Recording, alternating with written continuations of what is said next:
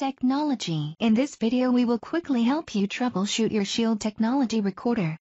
If you are having problems connecting from the app using the QR code, this video is only for DVRs and NVRs that use the SuperLive Plus app. First from the app, identify the type of error occurring. The most common error when having connection problems is entering the wrong username or password. If this is the case the error will specifically say username or password error. The default password is 1, 2, 3, 4, 5, 6, but if you change the password you must make sure you are entering the password correctly. Be aware that both the username and the password are case sensitive. If both the username and password are correct then you may have a connection issue. When you have a connection issue, the app stays at connect to device. Until it times out, then you receive the error that says, failed to connect to device please check network and device. If you receive this error, the first step is to check your network, starting from your internet modem. Go to your modem or router and make sure the status is online. This is usually signified by a solid green light. You can also verify by checking that other devices can connect to the internet. If your internet is working properly the next step is to check the cable connections. Shield Technology DVRs and NVRs are not wireless, so there must be an Ethernet cable connected to the back of the unit. Make sure this cable is connected to your network. If connected properly, you should see a solid green light and a flashing orange light from the LAN port on the back of the unit. If your recorder is properly connected to the network, the next step is to check the network settings on the recorder.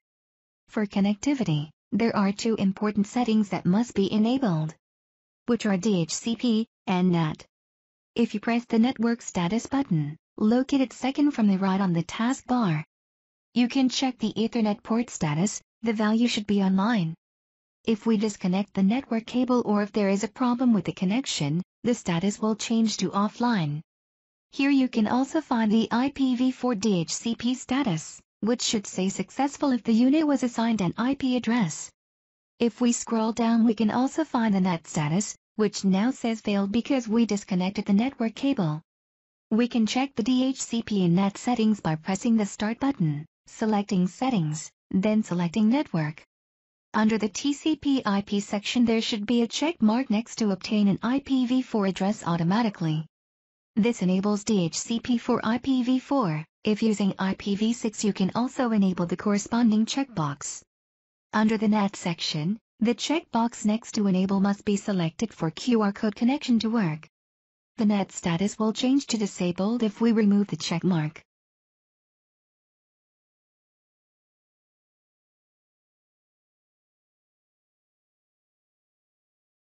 If all the settings are correct and the Ethernet cable is plugged in the back, you should see online for the corresponding Ethernet port.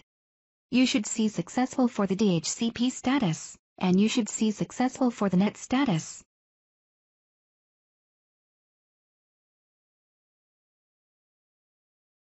Back on the SuperLive Plus app, remember that both the username and the password are case sensitive.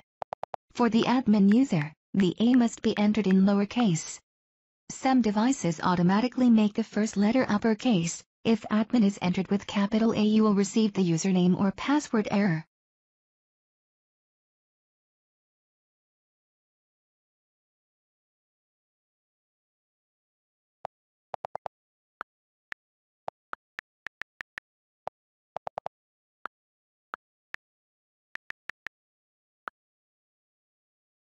If you have gone through all the steps but you still can't connect from the app, then you may have to power cycle the unit by turning it off and back on. This will force your router to assign a new IP address to the unit. If that doesn't solve your problem, you may also try closing and reopening or reinstalling the app on your device. Sometimes cached data cause connectivity issues. As a last resort you may have to contact your internet provider to help with port forwarding or firewall settings that may be blocking the app from accessing your network. We hope this video was useful and you found a solution. Thank you for watching. This video is brought to you by Shield Technology. Feel free to leave comments and suggestions for future videos. Thank you for watching. Please subscribe to our channel and visit shieldcctv.com for updated information on Shield Technology products.